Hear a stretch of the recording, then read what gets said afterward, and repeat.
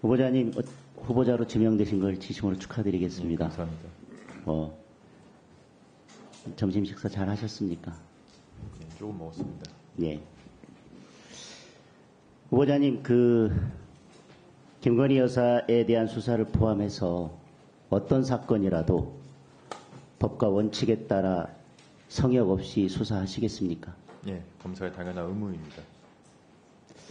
그러면 살짝 고민이 됩니다. 그, 오늘 분위기로 봐서는 그러면 후보자께서는 검찰총장이 되시기 어려울 것 같습니다. 예, 저희가 청문회 자리에서 대놓고 폐륜 수사, 배은망덕 수사를 하시겠다고 하는 후보자를 이 총장으로 임명해도 되는지 잘 모르겠습니다. 오늘 문다혜 씨에 대한 수사를 가지고 이뭐 폐륜이다, 배은망덕이다 이렇게 말씀들 하시는데 만약에 지금 말씀하신 것처럼 그렇게 뭐 살아있는 권력에 대해서든 그 누구에 대해서든 엄정하게 수사를 하다 보면 때로는 지금 윤석열 대통령이 총장으로 임명할 텐데 김건희 여사에 대한 수사를 엄정하게 하다 보면 배은망덕한 검찰총장, 폐륜 검찰총장이라고 하지 않겠습니까? 그리고 문재인 전 대통령이 윤석열 검사를 서울중앙지검장으로 또 검찰총장으로 임명한 것이 내가 살아있는 권력으로 있는 동안 나에 대한 수사는 하지 말고 내가 퇴임한 후에도 나를 지킬 수 있으면 지켜달라는 취지로 중앙지검장 검찰총장에 임명한 것은 아닐 것입니다. 그리고 이 문다희 씨에 대한 사건이 다른 의원님들도 말씀하셨지만 지금 들어와서 갑자기 수사를 시작한 것이 아니라 그 이전에 고발되어 있던 사건입니다. 그런 수사를 법과 원칙에 따라서 하고 있는데 윤석열 대통령이 담당 검사나 검찰총장을 불러서 내가 은혜를 갚아야 되니 이 수사는 하지 말라고 그렇게 지시를 해야 되겠습니까? 그것을 폐륜이다,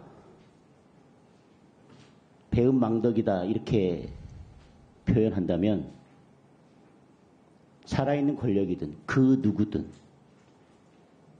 전직 대통령이든 누구라도 성역 없이 법과 원칙에 따라 수사해야 된다고 바라시는 많은 국민들은 폐륜과 배은망덕을 부추기는 것이 될 것입니다.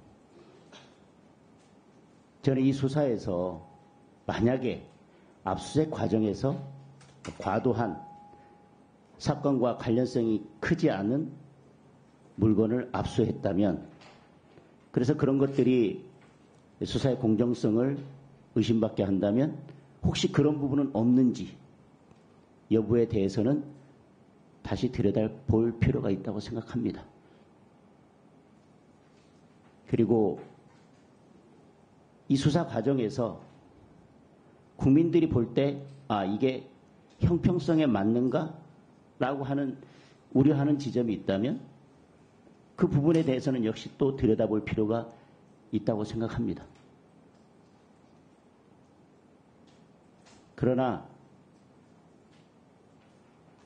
유석열 대통령을 문재인 전 대통령이 서울중앙지검장으로 임명을 했고 검찰총장으로 임명을 했고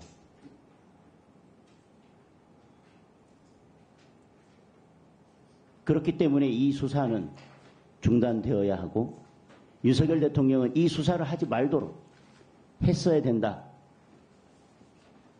라는 거에는 저는 동의하기 어렵습니다.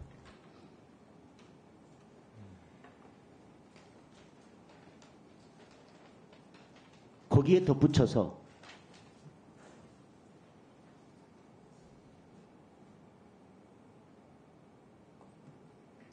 능력이나 자질 그런 것까지 언급하면서 서울중앙지검장 검찰총장을 시켜줬는데 라고 한다면 그러면 문재인 대통령은 유석열 검사를 중앙지검장으로 검찰총장으로 임명한 이유가 도대체 무엇입니까?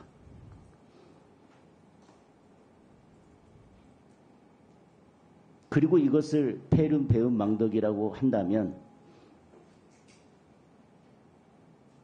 윤석열 검사에게 무엇을 기대하고 서울중앙지검장과 검찰총장을 시켰던 것입니까? 아까 말씀하신 것처럼 김건희 여사에 대한 수사를 포함해서 어떤 수사라도 성역 없이 법과 원칙에 따라 수사하겠다라고 하는 검찰총장 후보자의 지금 그 대답은 지금 문다희 씨에 대한 수사를 폐륜 수사, 보- 어, 배은망덕 수사라고 표현하는 분들에게는 지금 경찰청장 후보자가 때로는 폐륜 검찰총장, 배은망덕 검찰총장이 될 수 있다는 이야기로 들려져서 저는 오늘 이 청문회 자리가 매우 불편합니다.